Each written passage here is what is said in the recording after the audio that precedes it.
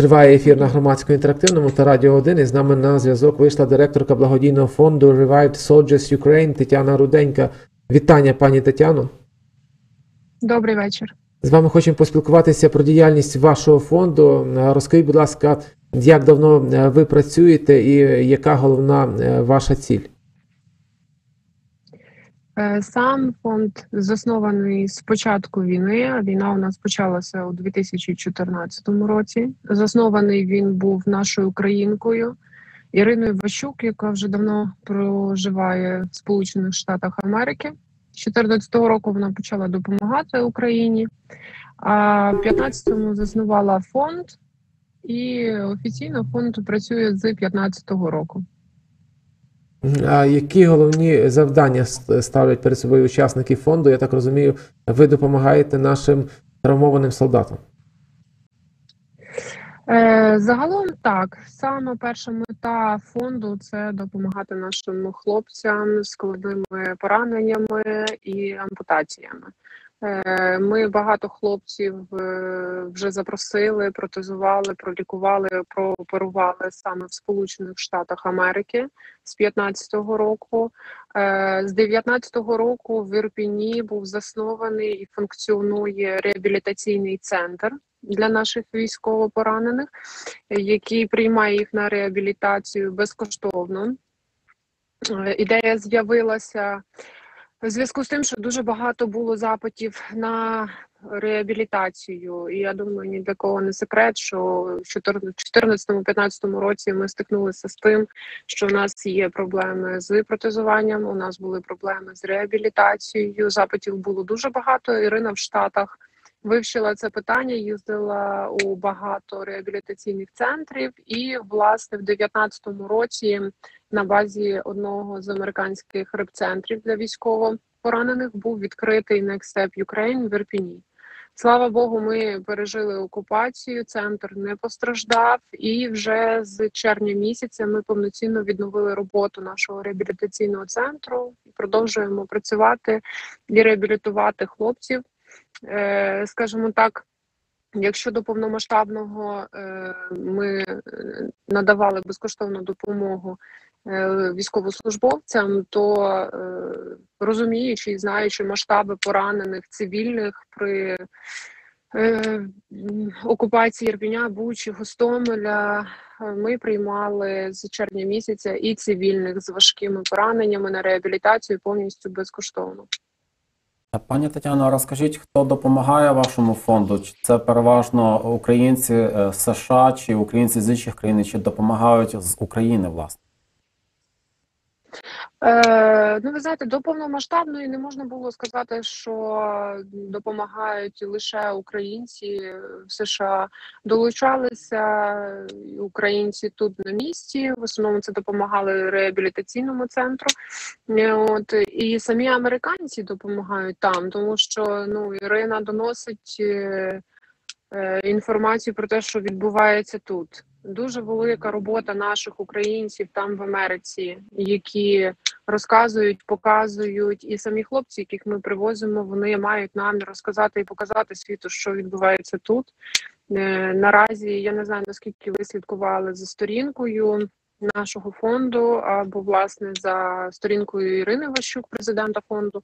Е, У нас перебувають хлопці в Америці. Е, Зокрема, це Роман Морпіг, е, який боронив Маріуполь, який втратив ногу в бою, а в полоні йому вже ампутували руку.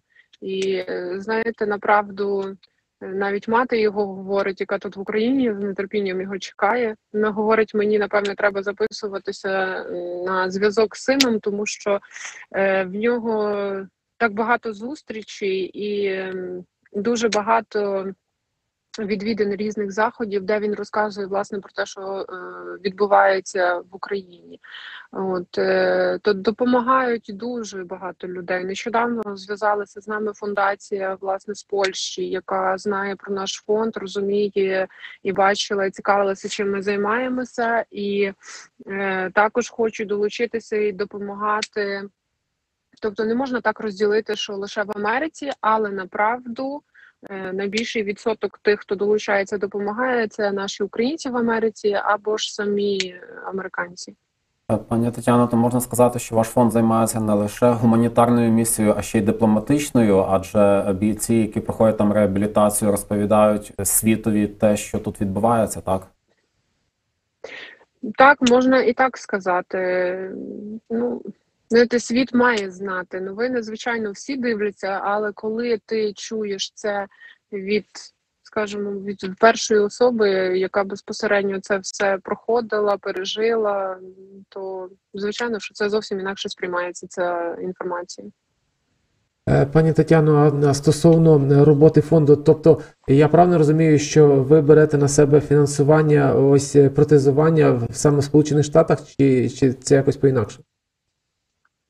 Е, ні, не по-інакшому. У нас є запити. Ну це не тільки протезування. Мгм. Ірина е, там шукає відповідно до е, звернень. Звернень дуже багато. І є хлопці з важкими пораненнями, яким навіть самі лікарі рекомендують е, лікування за кордоном. Е, зараз наразі е, є багато запитів на протезування рук, на біонічні коліна. угу. І це не тому, що це не тому, що в Україні погано з протезуванням. Ні, я хочу пояснити всі хлопці бо або дівчата, які звертаються.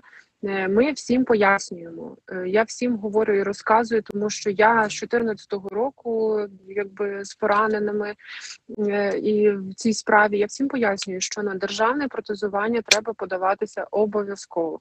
У нас державні е, програми забезпечують хорошими протезами. Ми знаємо хлопців на протезах, які робили тут в Україні протезні заводи або центри, і хлопці на них повернулися на службу і воюють.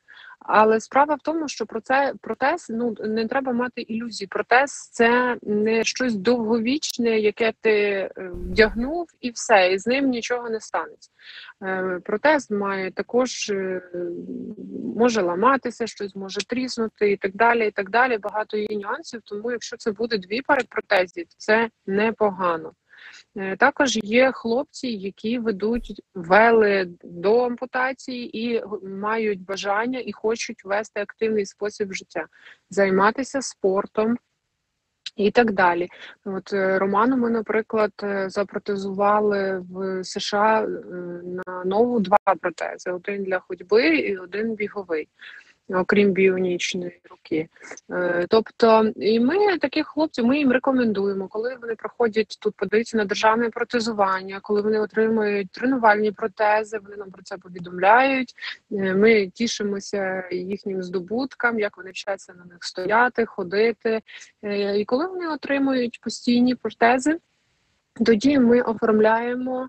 Е, Їх вже на протезування в США. Е, Ми не залучали до сих пір жодних там державних коштів. Все ми робимо своїми силами повністю Е, проживання, переліт, проїзд по штатам, тому що ну протезування, наприклад, ноги в одному штаті, а руки в іншому штаті. Тобто, це все повністю їх розміщення і так далі. Ми беремо на себе. Але при цьому я хочу зараз подякувати е, Міністерству охорони здоров'я. Вони дуже оперативно допомагають нам у оформленні е, дозволу на перетин кордону. І от, наприклад, е, остання група хлопців, яка полетіла, троє наших бійців. Вони нам дуже допомогли з транспортуванням, тому що там.